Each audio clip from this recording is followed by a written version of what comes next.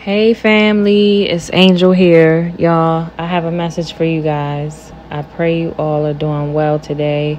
This message is a heavy one, so put on your seatbelts. I don't have notes, guys. I'm just going to roll with the experience that the Holy Spirit has allowed me to go through recently, okay? Um, I have chills literally right now. Like as I'm speaking, I'm getting chills. The Holy Spirit is with me. Um, guys, I had a dream, and this dream came after a heavy experience that I had. The night before last, I awakened at about 2 in the morning, and um, it was like an abrupt waking. So he woke me up. I instantly went into prayer. Um, I went into speaking in the holy tongue. Um, for a good 45 minutes, guys. I was just being obedient, consecrating myself with the Lord, and in prayer mode. And I knew He had um, me doing it for a reason. So, whatever came to my spirit, I prayed about it.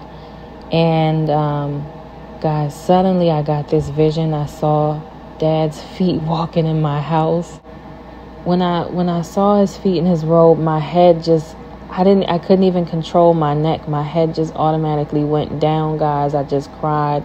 I just cried. I felt his presence and I cried and um I had no control over my mouth. My my tongue just started rolling and it was a very overwhelming experience and um guys, he came to me with a message I feel like he put me to sleep because I don't even remember. I don't know how I fell asleep. I just remember praying and then being asleep. I don't remember like getting back under the covers. I just fell asleep, guys. It was almost like he put me to sleep. I had a dream. It was a heavy one. So, like I said, buckle your seatbelts, okay? I went to sleep, guys, and the dream was so real. I just can't even believe it was a dream, to be honest. But, um, I was in my house and I was laying in my bed, and my nieces were with me. My kids were in their room. Um, and I remember this rumbling happening. Okay, my house started shaking. I looked outside and I saw this cloud of smoke. It looked like an atomic BOMB. I don't want to get any offenses here on this platform, but when I looked outside, like I said, it looked like a BOMB happened, um, and it was smoke everywhere. And across the street, everything was completely demolished. Nothing existed anymore, nothing. And I saw the smoke coming towards me, and I knew it was going down, like it was the end, and it was coming towards me. Um, and I knew I was next. The, the area where I was at was next. So I went, grabbed my kids out of their bed, brought them in my bed with me and my nieces, and we all said our prayer and we laid next to each other. We held each other, and um, I didn't tell them why, but they knew something was up with the rumbling. I didn't tell them what I saw outside, but I knew that it was the end for us. So, um, I held them all and I braced myself, closed my eyes, and nothing happened. And I'm steady waiting, nothing happened. About an hour goes by, nothing happened. Two hours in a dream, it was like I was looking at my clock and nothing happened. So I noticed I saw a little bit of sunshine. The sun came up and I was brave enough to step step out the door. Everything was gone, guys, except for a few houses on my block, like my house, the house next to me, and the house on the opposite side of me. We're the only ones standing. Everything was completely gone, guys, completely gone. And I stepped out and um, I said, Lord, I, I thanked him for saving me. I said, Thank you, Lord. But where do I go now and how do I get there? Everything is destroyed. And it was only a select few of people he instructed. He instructed, it was literally a line of like maybe 10 people that were left.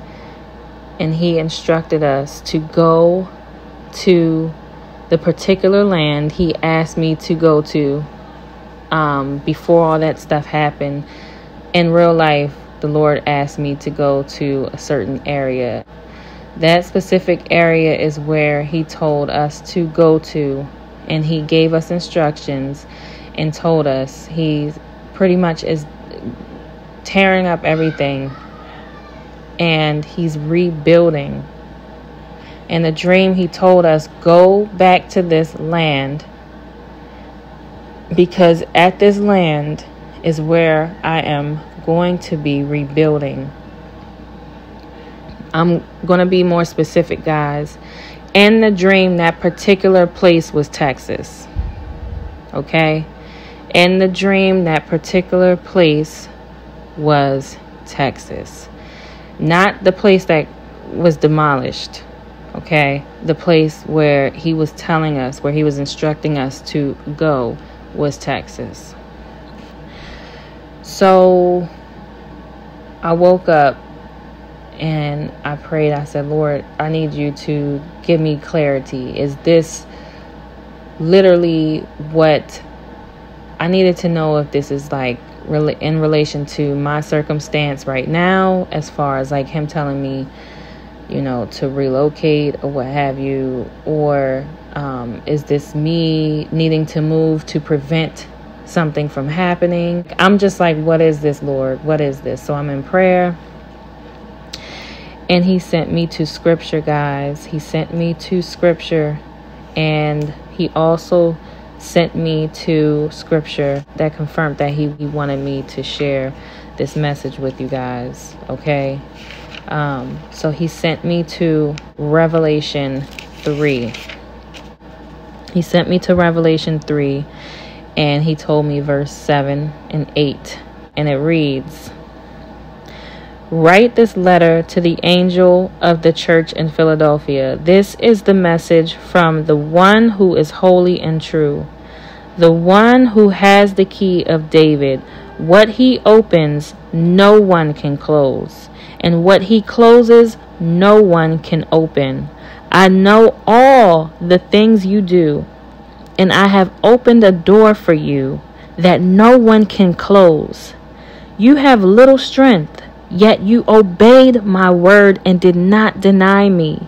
Look, I will force those who belong to Satan's synagogue, those liars who say they are Jews but are not to come and bow down at your feet.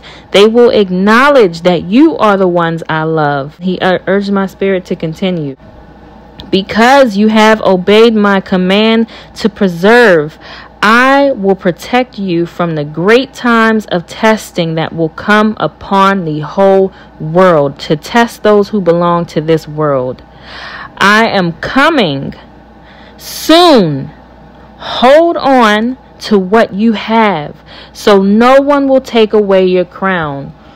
All who are victorious will become pillars in the temple of my God, and they will never have to leave it and I will write on them the name of God, and they will be the citizens in the city of my God, the new Jerusalem that comes down from heaven, from my God, and I will also write on them my new name. Anyone who has ears to hear must listen to the Spirit and understand what He is saying to the church. This is further confirmation that what a lot of these prophets and apostles and um, the body of Christ in general has been speaking on that we are in a time of testing and the Lord is separating the wheat from the tare right now. Okay. Um, he's exposing, putting people in their proper places. All right. And he is confirming that he is coming soon. Okay. And, um, it says, We are in a great time of testing. Right now, we are in a time of testing, and that is to see who belongs to the world. He is separating the wheat from the tare. This is confirmation, okay, of what we've been saying this whole entire time. He has just confirmed that is what he is doing. All right. And this is for those who have been faithful This is conf- confirmation for those who have been faithful. He sees, okay? And those people are going to be chosen to become pillars in his temple. All right? And he will write on them his name, which is his seal. And they will become citizens in the city of my God, the new Jerusalem that comes down from heaven. Guys, what he is doing in this hour is gathering his chosen ones up. All right. You know how we were scattered all around the world? Yeah, he's bringing us together in this hour. Okay. For example, you think him asking a lot of his chosen ones to up and move to Texas is a coincidence? No, it is not. It is something so much more deeper than you guys could ever imagine, is what the Lord revealed to me. Um, this is a prophetic move. This is why He is asking you guys to move to certain locations, okay? He's gathering His sheep in this hour. Guys, He's speaking of the last days, okay? When that, um, when I saw what depicted as a atomic bomb that signified destruction, the end, and his rebuilding of Jerusalem is him bringing his people, his chosen ones, back home to the new Jerusalem, the new earth that he is building that is for eternity. Guys, think it not strange, okay, um, what is going on in these end days. More calamity, destruction, um, a lot is coming, okay? Famine, all right? Recession, a lot is coming. A lot is coming.